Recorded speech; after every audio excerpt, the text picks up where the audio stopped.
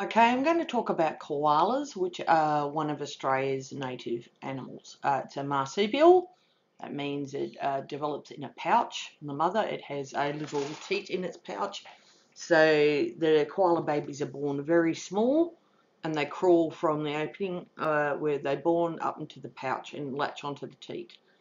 Okay?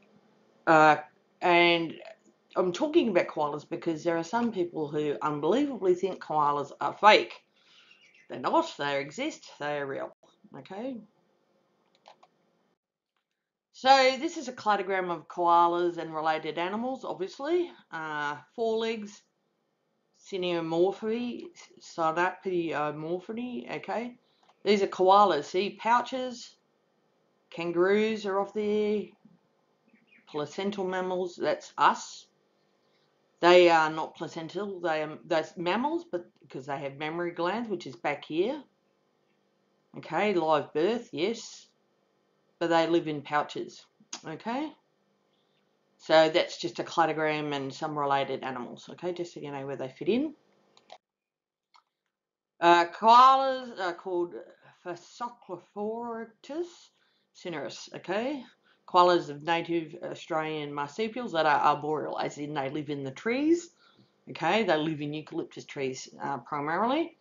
And they're the only extant, which means existing, representative of the family, Phaso, Phascocoloricidae. There you go. Closest living relatives to koalas are wombats. Okay. Evolution of mammals. Uh, the evolution of mammals has passed through many stages since the first appearance of their synapsid ancestors in the Pennsylvanian sub-period of the late Carboniferous period. By the mid-Triassic, there were many synapsid species that looked like mammals. The lineage leading to today's mammals split up from the Jurassic. Synapsids from this period include the Dryolestes, more closely related to extant living placentals, that is, and marsupials than to monotremes, that would be like the platypus, as well as ambro, ambro, ambondro, more closely related to monotremes. So there you go. It's just a picture if you can see that. This is more mammals um, and where they fall into the scheme of things, okay? Showing sort of some of the links there. Eutherian link lineages, okay. Uh, this is later, the Eutherian and Metatherian lineages separated. The Metatherians are animals most more closely related to the marsupials, while the more while the Eutherians are those more closely related to placentals. Okay, so that would be, yeah. And, okay, Prototherian mammals, and there's monotremes. Therian mammals, okay. And then marsupials, Eutherians, okay. Since Juramaia, the earliest known Eutherian, lived 160 million years ago in the Jurassic. This diversion must have occurred somewhere in that same period. After the Cretaceous Pliocene extinction, which was a big asteroid, okay, coming down, that's what you can see. After the Cretaceous Pliocene extinction event wiped out non-avian dinosaurs, birds being the only surviving dinosaurs, and several mammalian groups, placental and Placental and marsupial mammals diversified into many new forms and ecological niches throughout the Paleo Paleogene and Neogene, by the end of which all modern orders has appeared. Okay. Synapsid lineage. The synapsid lineage became distinct from the Sauropsid lineage in the late Carboniferous period between 320 and 315 million years ago.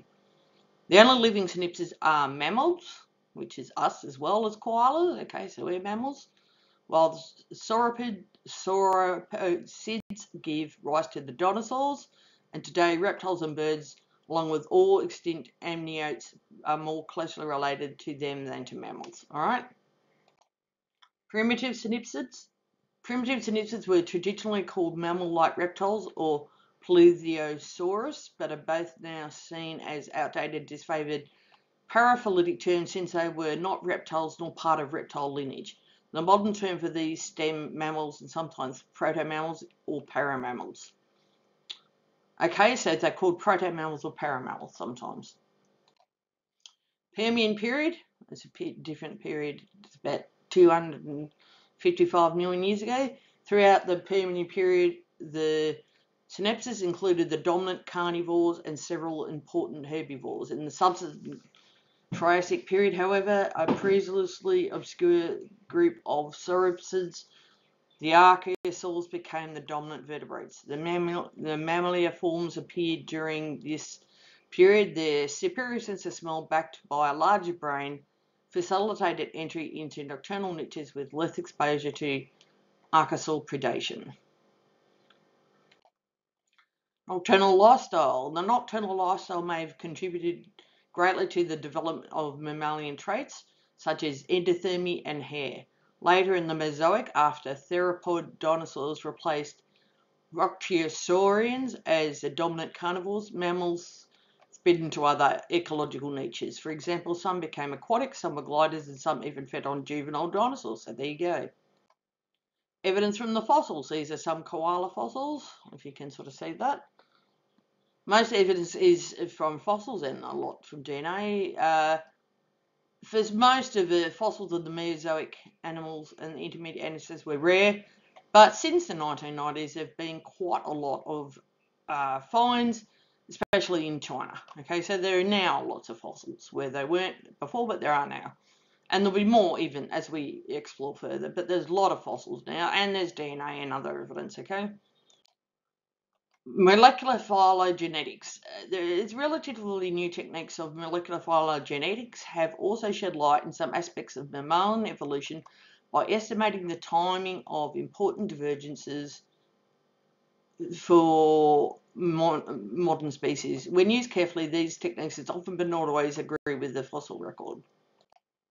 Mammary glands. Okay, so all mammals, including us, and we're mammals, have mammary glands. Uh, these are koala mammograms, which are in their pouch, but we have ours on our chest, and other mammals have theirs sort of different places, but mostly chest-ish area. These are sort of koala chest-ish sort of area. Um, mammary glands are a signature feature of modern mammals. Little is known about the evolution of lactation, as these soft tissues are not often preserved in the fossil research. Most research concerning the evolution of mammals centers on the shapes of the teeth, the hardest parts of the tetrapod body. Other important research characteristics include evolution of middle ear, erect limb posture, a bony sedentary palate, fur, hair, and warm-bloodedness. Marsupials. We're placental mammals, but kangaroos and wallabies and uh, wombats and uh, koalas and whatnot are marsupials. Marsupials are a diverse group of mammals belonging to the infraclass Marsupialia. They're primarily found in Australia or Australasia, Wallacea, and the Americas. One of the defining features of marsupials is their unique reproductive strategy, where the young are born in a relatively underdeveloped state and they're nurtured within a pouch. Okay, because they're born quite small. Okay. Living marsupials. Living marsupials encompass a wide range of species, including kangaroos, koalas, opossums, or possums in Australia. Opossums is the word for uh, America's possums, we call them in Australia. Tasmanian devils, wombats, wallabies, bandicoots, amongst many others. Each species exhibits distinct adaptations and behaviour suited to the ecological niche. Okay.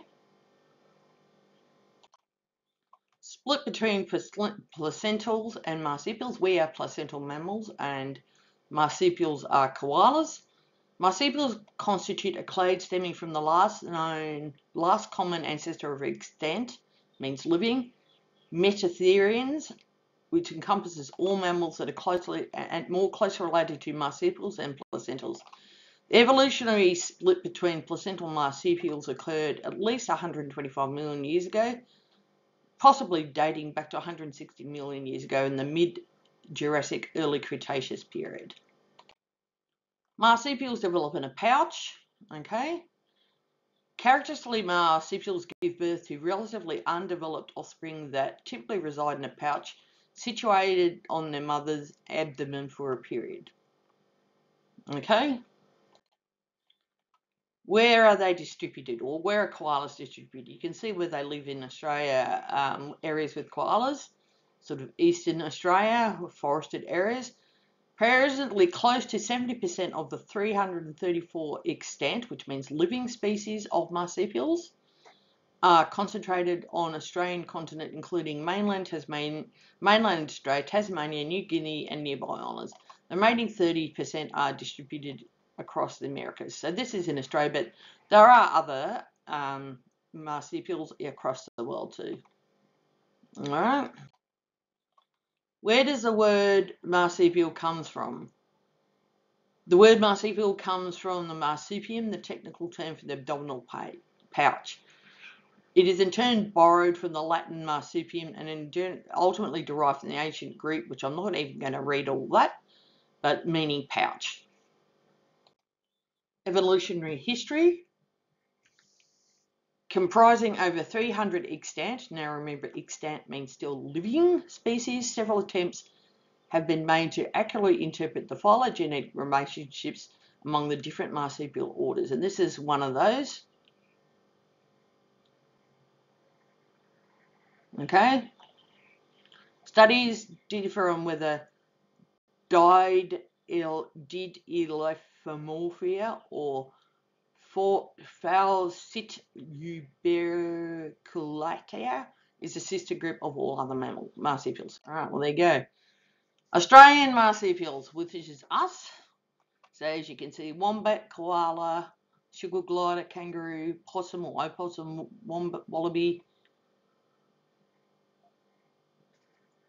Can't even read that. Kusu, Tasmanian tiger, numbat, Though the order Microbiotheria, which is only one species, the Monoty is found in Southern America, morphological similarity suggests it's closely related to Australian marsupials. Molecular analysis in 2010 and 2011 identified Microbiotheria as a sister group to all Australian marsupials. So there you go. Uh, however, the relations among four Australiodelphid orders are not as well understood. DNA. DNA evidence supports a South American origin for marsupials, with Australian marsupials arising from a single Gondwanan migration of marsupials from South America across Antarctica to Australia. There are many arboreal arboreal, so arboreal just means tree living species in, in each group. The term opossum is used in Afri America species, although possum is common used in Australia. Okay, just as I said that before. Ancestors of marsupials, the largest, the ancestors of marsupials part of the larger group called metatherians, probably split from the placentals during the mid-Jurassic period, although no fossil evidence of metatherian is known from this time. DNA and protein analysis, the time of divergence of the two lineages have been uh, estimated to be 100 to 120 million years ago. Fossil metatherians. Okay, these are some of the fossils. Fossil metatherians are distinguished from eutherians by the formation of their teeth. Metatherians possess four pairs of molar teeth in each jaw where eutherian mammals, including true placentals, never have more than three pairs. Earliest known metatherian, well, okay, that's not a picture of one, that's just a picture of something like it.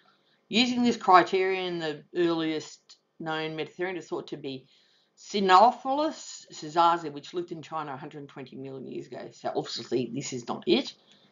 It's just a picture of like a little sort of sort of metatherian, that's, you know, doesn't matter. Anyway, however, Synophysis are later reinterpreted to be early member of Eutherian. The unequivocal oldest member of Metatherians is now 120 million fossils from Western North America.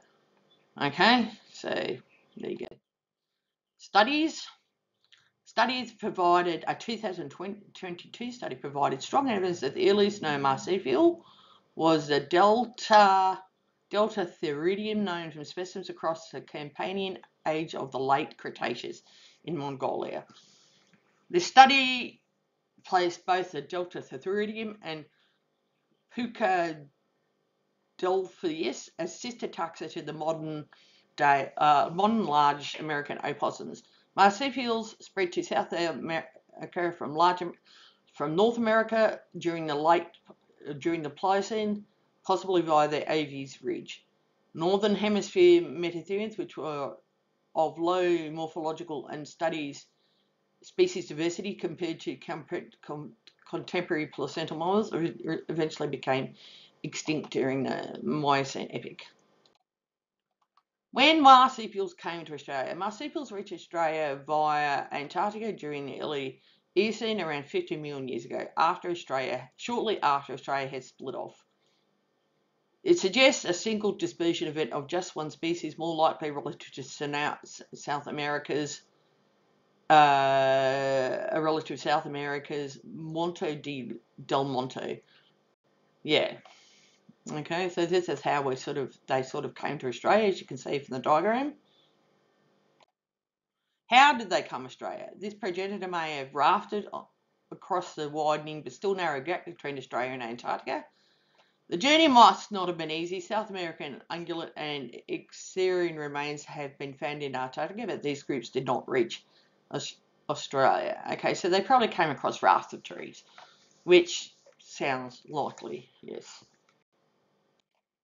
Marsupials spread out. Uh, in Australia, marsupials radiated in the wide variety seen today, including not only the omnivorous and carnivorous forms such as present in South America, but also into large herbivores.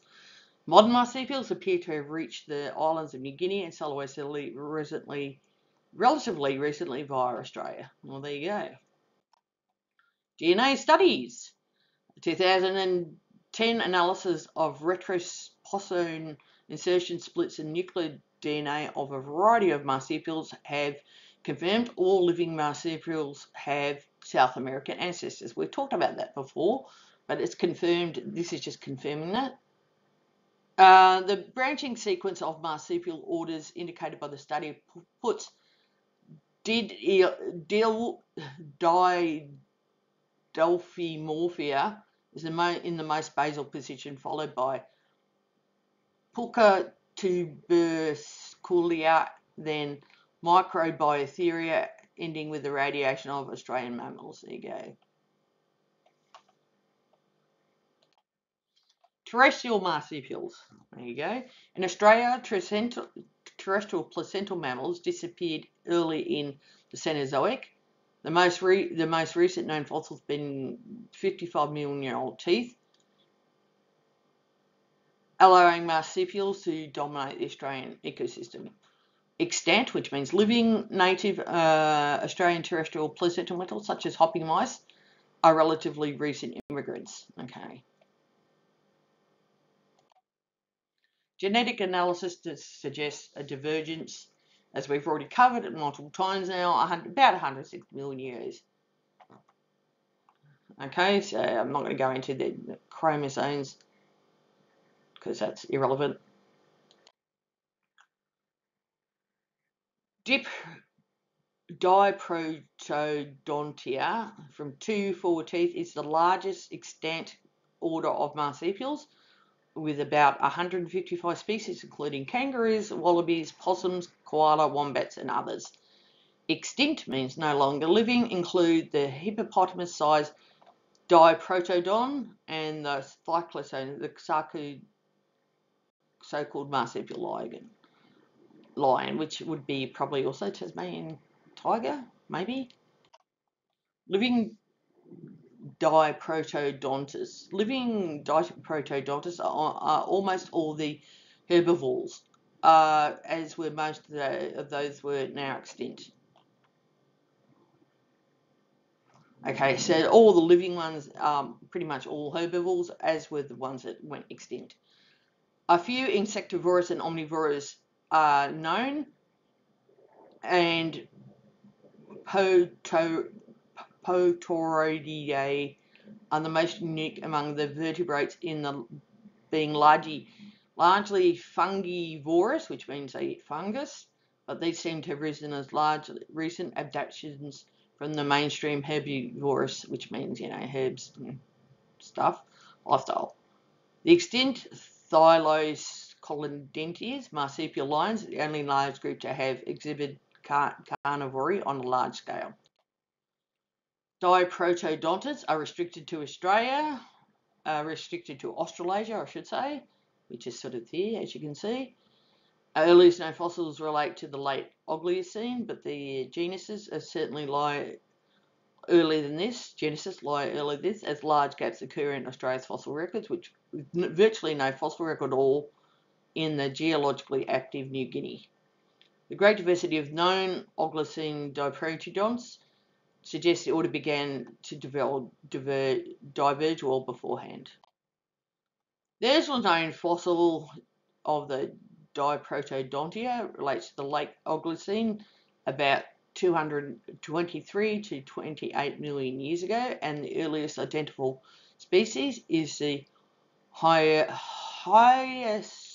Hypsiprymnodon bartholomaii from early Miocene. I think that's an example, but don't quote me there.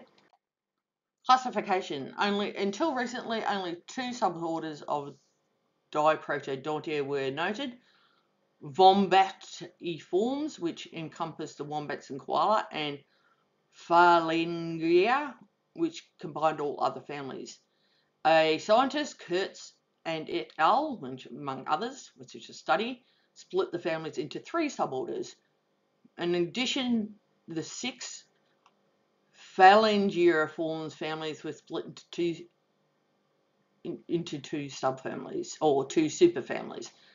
The macropodiforms are probably nested within the Phalangiiformes, although whether they sister to the Phalaenoptera or Petaduria is debated. Okay.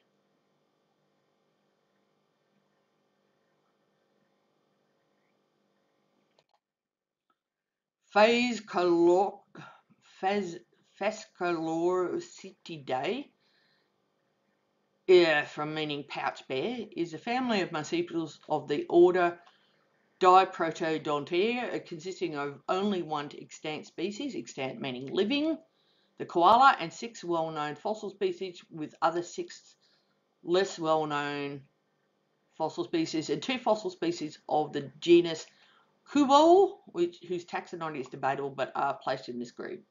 Closest living relatives of these are wombats, which comprise the family Vombatidae.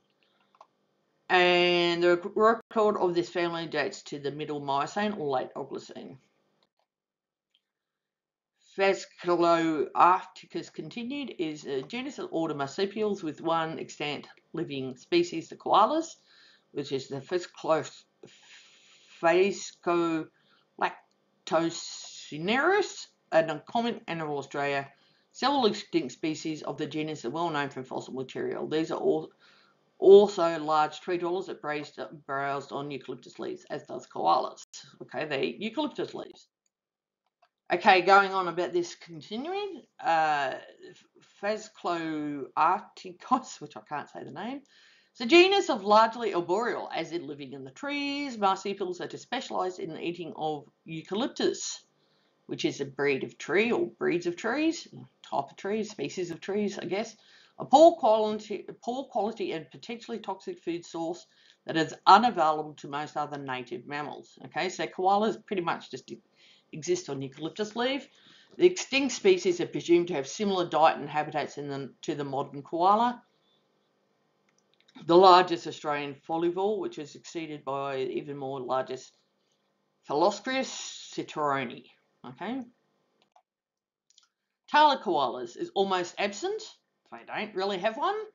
An unusual characteristic for a tree climbing mammal, although other anatomical features are well suited to the habitat. Okay, like its claws and hands and paws, or its front paws and hind paws and claws, that's how it hangs on. There are some resemblance to the wombats, a large family of terrestrial marsupials which are allied with koalas. Mm -hmm. Where does it live? Found in coastal areas, as we said, um, Queensland, New South Wales, Victoria, and South Australia. It's easily recognisable by its stout, tailless body and large head with round, fluffy ears and large, dark nose. Description, well, obviously, we just talked about that. We'll talk about a bit more. The body length of 60 to 85 centimetres and weighs from 4 to 20, uh, 15 kilograms.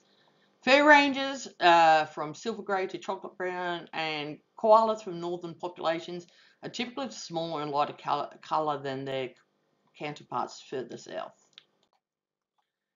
Koalas live in eucalyptus woodlands, so they like to live in the woodlands, um, and they inhabit open eucalyptus woodland, as the leaves of these trees make up most of their diet. This eucalypt diet has low nutritional and caloric content and contains toxic compounds that deter other mammals from feeding on it. But koalas have adaptations to eat eucalyptus leaves, okay? Koalas are sedentary, as in they lay about all day. Pretty much they eat, sleep, and poop. Alright, koalas are largely sedentary and sleep up to 20 hours a day. They are asocial, so sometimes they'll hang about in small groups or with their joeys or when they are mating. But for the most part of the time, they sort of solitary with they might have other koalas nearby. Um, as in like you know like near near on other limbs close to them and stuff like that so they are mostly asocial okay they're not really sociable animals male koalas are bigger than females, so uh, koalas are sexually dimorphic Adult males communicate with loud bellows that intimidate rivals and attract mates. And males mark their presence with secretions from scent glands located on their chests, which I think would be that. Koala joeys, okay? Koala babies are called joeys. Being marsupials, koalas give birth to undeveloped young that crawl into their mother's pouch, where they stay for the first six to seven months of their lives. Okay, they're fully weaned after about a year. And you can see a little Joey there. Alright. Koala predators. Well, the biggest one are humans, obviously because of our traffic and roads and deforestation and cutting of trees that we do in Australia, which is a shame. Um, wild dogs and cats, obviously. Um, and viruses, chlamydia is becoming a real problem for koalas. Um, as I said, chlamydia and the koala retrovirus. Okay, so few natural predators, but dingoes, these are dingoes, are introduced from about 40 to 60,000 years ago into Australia. They're not sort of natural in the way that they evolved from here, but they did were brought here roughly about that, you know, 40 to 65,000 years ago, somewhere there. Um, yeah, Koalas are vulnerable. Okay, so they're listed officially as a vulnerable species. They're probably way more than vulnerable. They're probably endangered because um, Australia is not really preserving its eucalyptus woodland um, habitats very well because uh, people want to develop and build houses and not preserve woodlands. And roads and buildings obviously kill koalas and all that sort of stuff and people having animals, you know, like pets kill koalas and yeah, stupid people being stupid kill koalas.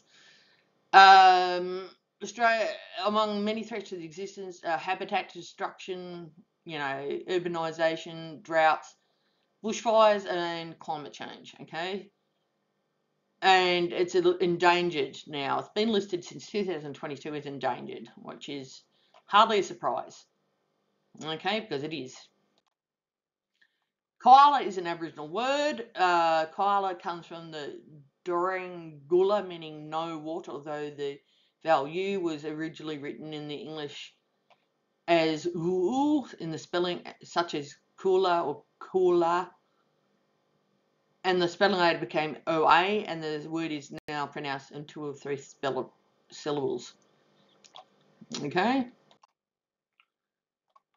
Um, this is how sort of koalas sort of possibly evolved over time. Koalas uh, is classified with wombats, as we've already talked about. and several extinct families, including marsupial tapirs, marsupial lions, giant wombats, and the suborder Vombatiformes within the order Diprotodontia. Okay, and koala lineage possibly branched off around 40 million years ago during the Eocene. Koala is the only living um, member or the extant member of this order Phasciolactidae, a family that includes several extinct, means no longer living genera and species. During the Oligocene and Miocene, koalas lived in rainforests and had more generalized diets. So changing environments and what was available is what changed their diets. Okay. And now they are, because they are so specialised in their diets, can eat, they are critically endangered. Okay, and that's mostly human fault there. Prehistoric koalas. Some species such as, I'm not even going to say this, some species of prehistoric koalas were around the same size as the modern koalas, while others were one and a half to two thirds its size.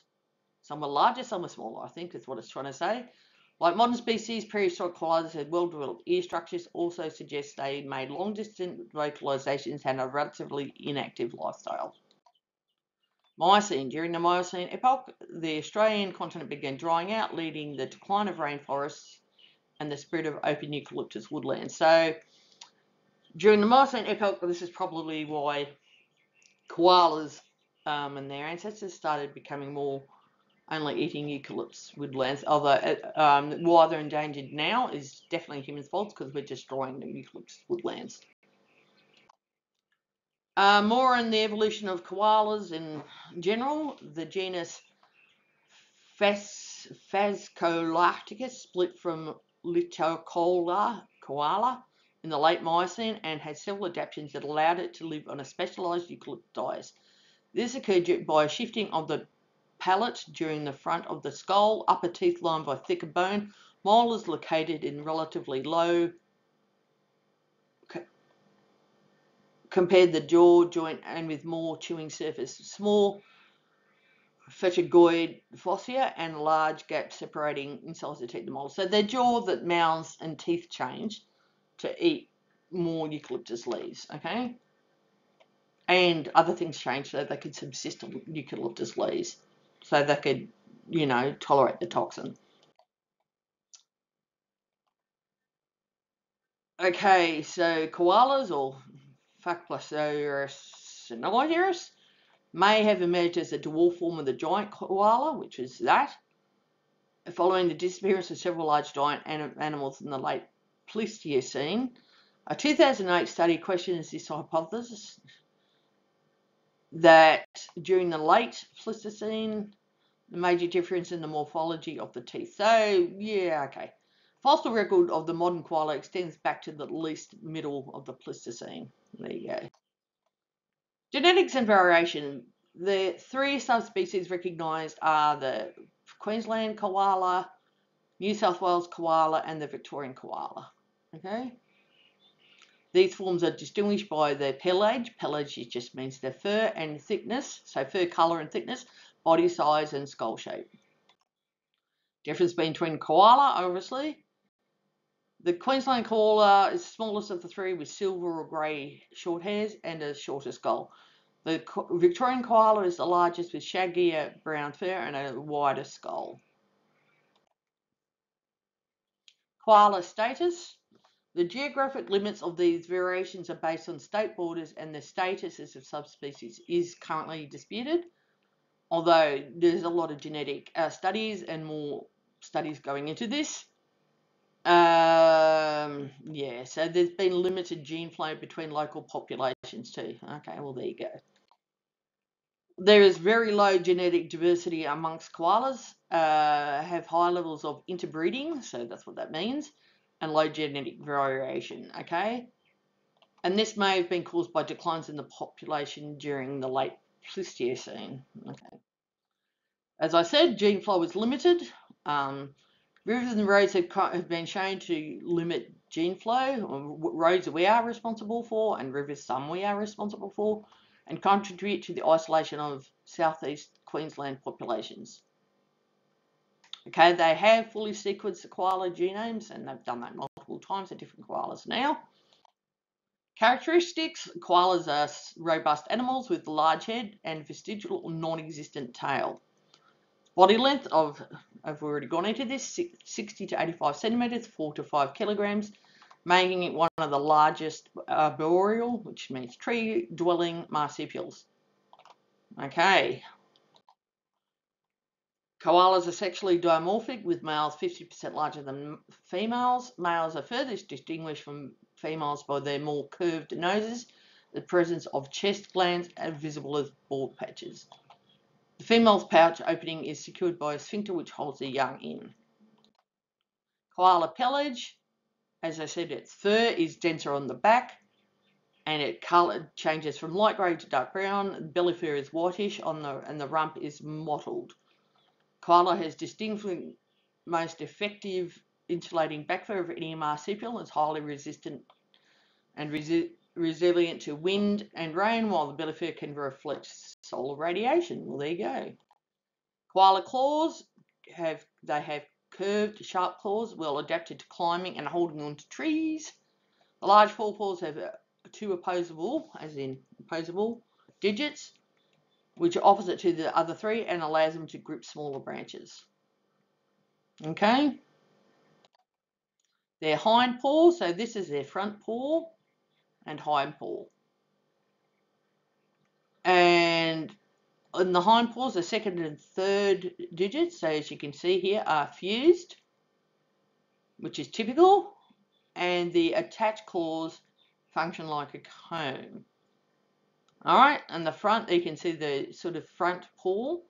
They've got these two ones to hold on to here. So it's like their two fingers here can hold on with that. All right. They've got thigh muscles anchored further down the shin bone, increasing its climbing power. The robust skeleton, um, longer upper limbs that contribute to its ability to scale trees. Koalas have relatively small brains compared to other mammals, and it's pretty light. Um, the brain surface is smooth and considered primitive, as in more ancient does not entirely fill up the cranial cavity and like most mammals is large and is lightened by large amounts of cerebrospinal fluid. This is just so the koalas probably, um, if they fall or knock their heads, which is probably a risk for landing, being up trees, they probably won't hurt themselves fatally.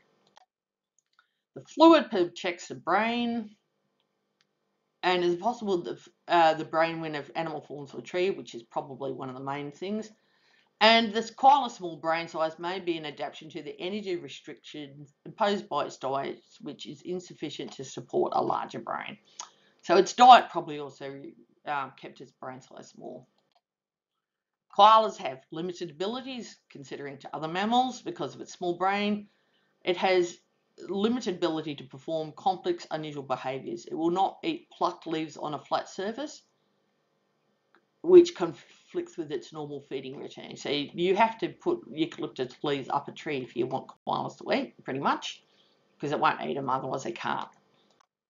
Koala description, hee hee, okay, big ears, four, you know, legs or hands, four limbs, full paws, has a small, broad, dark nose with good sense of smell is known to sniff the oils of individual branchlets to uh, assess their edibility. So we will smell the leaves to see if it can eat them.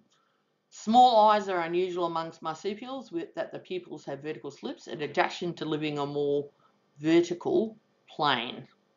Okay, so vertical means up and down, horizontal means that way because koalas live like that. That's the guys have adapted to that. Don't ask me, but that's what. Koalas have very good hearing. The round ears provide it with good hearing, and it has a wall of developed middle ear.